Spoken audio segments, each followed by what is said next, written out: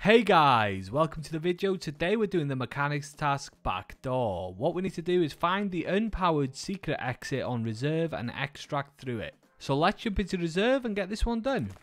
So here we are on the underground bunker on reserve. There's a lot of raiders that spawn down here usually, so it's quite dangerous. And what we need to do is we need to flick a switch that's just down this corridor. Inside this little server room area. And the lever we need to press is just here.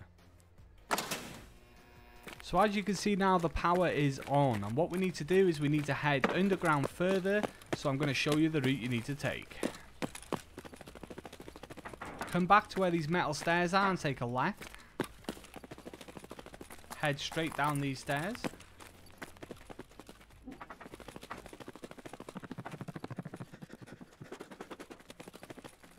And then we need to take a left here.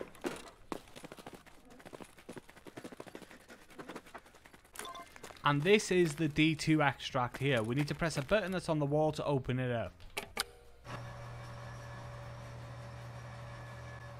Once the gap's big enough, you're able to sneak through. And once you've extracted, that is that one complete. I'm going to leave that one there anyway. If you liked the video, like the video. Subscribe if you want to see more. Thanks for watching as always, and take it easy.